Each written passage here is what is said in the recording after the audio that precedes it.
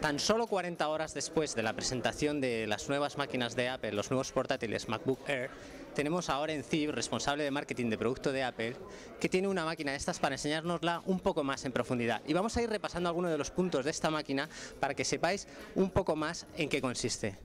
Hola Oren, ¿cómo estás? ¿Puedes mostrarnos la nueva máquina? Lo primero de lo que quisiera hablar es de su forma, del peso y del tamaño. Así que es realmente delgado. Sí, es súper delgado. Puedes ver que cerrado solo tiene 0,4 centímetros de grosor y 1,6, no, 1,94 centímetros en su punto más grueso. Así que tiene menos de 2 centímetros de espesor en su punto más grueso y 0,4 centímetros en el más delgado. Así que incluso en su parte más gruesa es más delgado que cualquier otro portátil del mercado. Y solo pesa 1,36 kilos. 1,3 kilos, así que es realmente ligero. Sí, pero mira esto. Una de las cosas geniales del asunto es que cuando lo abres, tienes instantáneamente esta bella pantalla con tecnología LED, con 13,3 pulgadas, el mismo tamaño que tienes en un MacBook. Así que en realidad es un portátil de tamaño completo, pero con una carcasa muy fina. Absolutamente. Y tienes un teclado además de tamaño completo también, así que no tienes que renunciar a nada. Decidimos en términos de cuando haces algo que es así de ligero y pequeño, ¿a qué vas a renunciar? Obviamente tienes que renunciar a algo. Claro, y hablaremos de ello ahora más tarde. Pero otro de los puntos fuertes es que tienes la misma cámara que tienes en los MacBook convencionales. Sí, eso es. Tienes una bella cámara iSight con la que puedes hacer audio y videoconferencia con iChat en cualquier lugar. Y lo otro es que tienes un teclado de tamaño completo. Sí, el teclado de tamaño completo tiene la misma plantilla que tienes en un MacBook, que a la gente realmente le encanta. Así que no tienes que llegar a un compromiso. La mayoría del resto de los ultraportátiles que hay en el mercado tienen 11 o quizá 12 pulgadas de pantalla y usan un teclado comprimido.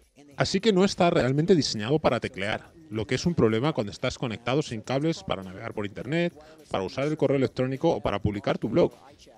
Y hay también un detalle interesante y es que este teclado está iluminado, ¿no?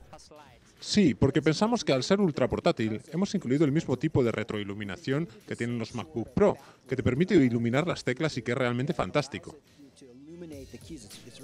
Así no estorbas al resto de los que están alrededor cuando estás usándolo de noche. O en particular cuando viajas y estás en un avión, o en un tren, o en una cafetería, no tienes las mismas condiciones de iluminación. No puedes controlar las condiciones de iluminación. Así que en realidad aquí hay un sensor que lee la luz ambiental y ajusta la iluminación del teclado. Y el otro punto fuerte para nosotros es el trackpad. Es un trackpad muy grande. Sí, es grande y está diseñado para... Con este trackpad aquí es genial, porque una de las cosas para las que está diseñado es la habilidad para realmente... Estás usando tus dedos y quizá no tecleando, pero nos hemos dado cuenta de que a los usuarios del iPhone realmente les encanta esta característica. Y puedes ver que puedo usar mis dedos, mis dos dedos como siempre, para moverme en vertical. Y puedo hacer clic con dos dedos que permite mostrar el menú contextual. Si vengo aquí y hago doble clic, abro la imagen. Puedo venirme aquí con tres dedos y pasar las fotos.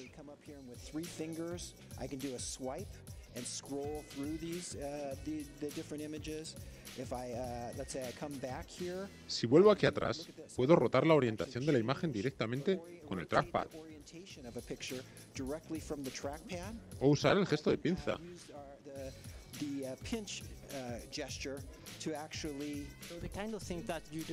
Así que el tipo de cosas que haces con un iPhone o un iPod Touch están ahora dentro del Mac. Sé que vosotros no soléis hablar sobre el futuro, pero podemos esperar ver esto en las próximas generaciones de los portátiles convencionales. Bueno, no hablamos sobre el futuro. Esto es lo que tenemos hoy y está aquí. Bien, eh, ahora me gustaría hablar más en profundidad de otras cosas, y una de ellas es la autonomía de batería. Tienes una gigantesca autonomía de batería en este portátil, pero no puedes quitar la batería del equipo. No, no puedes. Y en realidad, lo que hemos hecho es algo bastante innovador. Y es que, dado que hemos integrado la batería dentro, lo que hemos hecho es que cobramos el mismo precio. Después de años de uso, la autonomía va a disminuir. Y cuando eso suceda y quieras reemplazarla, por el mismo precio de una batería de un MacBook Pro hoy, unos 129 euros en España, ¿no? Sí, por 129. En realidad, eso incluye el servicio de abrir el equipo, reemplazar la batería y coger la batería antigua y reciclarla. Así que es un servicio muy bueno. De acuerdo. Y ahora